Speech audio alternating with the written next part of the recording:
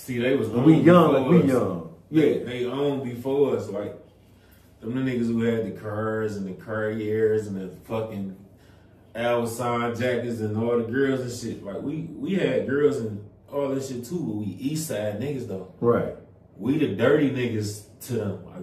Right. You know what I'm saying? Because Like, that's that's what West Side motherfuckers say to this very day. To this very day, Yeah. we we fucked up shooting Yeah. basketball in a milk crate type shit. Yeah, so we You know the grimy niggas. When niggas when we pop up 100 D, they automatically thinking. Let me tell you something about that, right? Because you just gave me such an inspiration.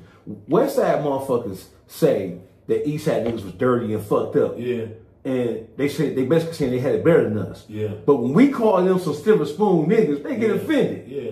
Y'all, y'all story about us is that we some dusty, dirty Yeah, motherfuckers. that's But when we say we drop the contract, and say y'all, y'all niggas was you know, on, you know, Mm-hmm. they get mad when we say they basically had it good. And then you wanna know what I noticed too, just from traveling? That's anywhere around the world you go Yeah, to east side. It's the east side, west side, somewhere it's north side, south side. No, it's like the So- east side of the town. Wherever you go, up. is like the considered the grimy niggas, like Yeah. the dirty niggas, or Yeah. the niggas they hustle, they get money. But the west side niggas, the fly, flashy, like the Yeah. you know Yeah, what I'm that's true. I Spoiled don't niggas, like Yeah, it's You know true. what I'm I saying? don't That's care where you go. anywhere in the world you go. yeah, that's from Atlanta to fucking LA. Anywhere you go is like that. Yeah, You know what I mean? anywhere you East go. side always considered the grimiest niggas.